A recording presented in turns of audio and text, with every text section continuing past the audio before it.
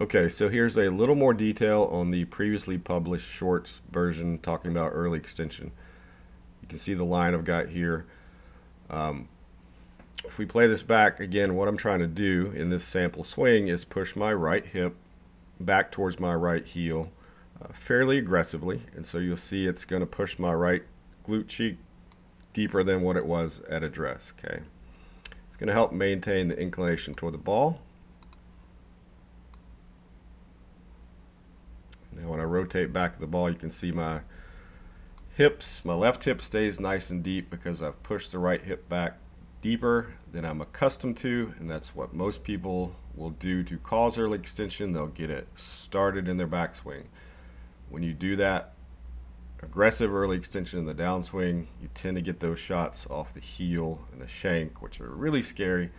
So this is a good way to practice to help get rid of that nasty habit.